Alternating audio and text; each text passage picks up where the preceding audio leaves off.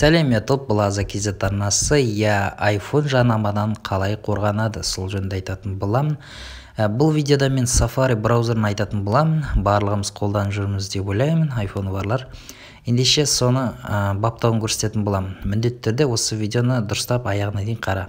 Себебі бұл дейтін керек мәлімет. Настройкаға кіреміз. Настройкаға кіргеннен кейін міне сафариға кіреміз. Сафариға кіргеннен кейін мына жерде кейбір баптауларды өзгертеміз. Поисковый машина дегеніміз не ә, бұл біз дейтін safari браузеріне кірген кезде бір нәрсе іздейміз да. Ә, соны іздеген кезде поисковик дейтін ана жерде тұрады. Мысалы дейтін мен басатын болсам менде яндекс тұрады. Яндекс бойынша біз іздейміз. Google болса google бойынша іздейміз. Бірақ та мына жерде бір нәрсе бар. Егер біз дактакоға қоятын болсақ бұл поисковиктің бір жақсысы біз бір нәрсе іздесек бізге жарнама бермейтін болады. Яғни біздің телефонымызға жарнама келмейді. А google мен яндекс олар деген жарнама шақырады. Сондықтан да енді өзің қалауың бойынша жарнамадан ә, мейлінше қорғанғың келсе онда дактакоды қолданған жақсы. Дегенмен дактаконың жаман жақтары кейбір мәліметтер көрсетпейді. Ол не екенін білмеймін. Яндекс пен google өте керемет мәліметтерді шығарады. Ә, сондықтан да енді өзің қара.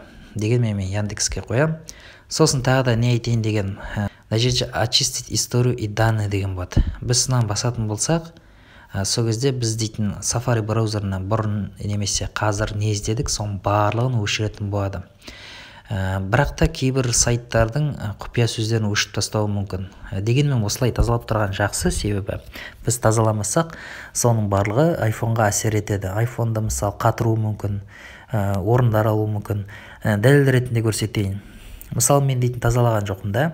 Сол тазаламаған кесірінен мына жерде дополнение кіретін болсақ данный сайтов міне мына жерде көптеген нәрселер жиналып қалды да. Міне бір мегабайт 360 килобайт тағы сол сияқты. Сөйтіп сөйтіп жинала береді. Жылдан жылға толып. Сондықтан не істейміз? Бұл жерде оңып оңай өшіре саламыз бұнда тұрған ештеңе жоқ.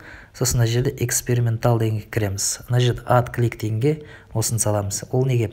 Себебі кейбір сайттар ә, вирус болып шығады вирус жарнама береді.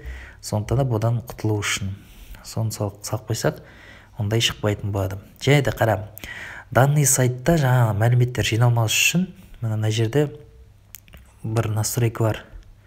Қазір көрсетемін міне блокировка всех куки деген. Міне мынаны басып қоятын болсақ келесіде ана жерге жиналмайтын болады мына жерде. Иә сондықтан да міндетті түрде соны сақтап қой. Бұнда тұрған ештеңе жоқ. Енді тағы да не айтамын бұл жерде дейтін? А закрытие вкладок. Закрытие вкладок дегеніміз не? Мысалы дейтін біз safari браузеріне кірген кезде көптеген сайтқа отырамыз да. Сол сайттардың барлығы вкладок болып жиналады яғни бетше болып.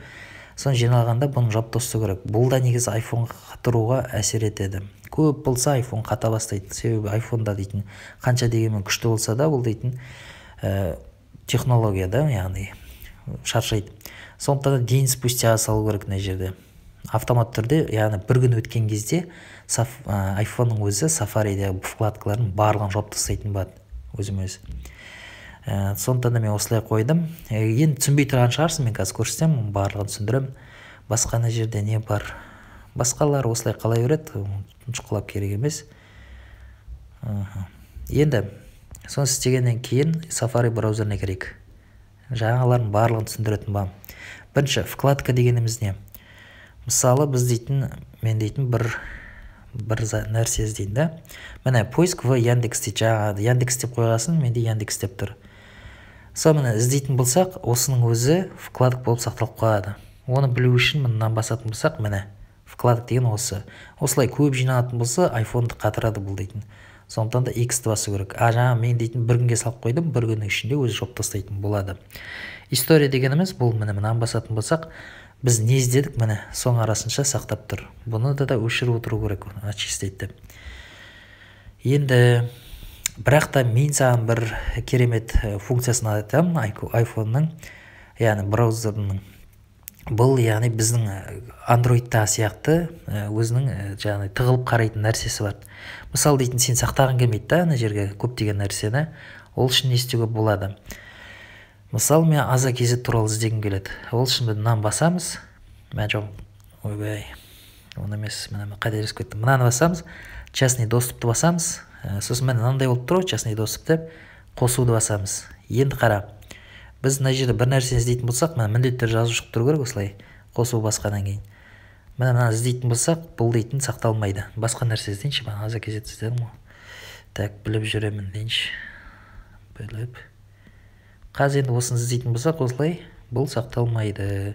Яғни саған дейтін тазалап отырып қажет емес. Енді міне да бұдан шығып кетеміз. Ә, жақсы тұра берсін осылай. Енді көрейік историяны. Міне историяда жоқ. Өйткені мен дейтін андайды көрдім. Егер де бұны алып тастағың келсе онда мынаны басасың да үстінен басасың частный доступ содан міне қайтадан келеді. Енді қайтадан іздейтін болсам бұл сақталады. Сондықтан да осылай осылай қолданып білуің керек айфонды. Көбіне бір жаңадан алған адамдар көп білмейді сондықтан да айтып отқаным ғой. Міне сақталып қалды көрдің ба сондықтан да осыларды ә, не істеп отыру керек өшіріп сонымен видео пайдалы болды деген ойдамын.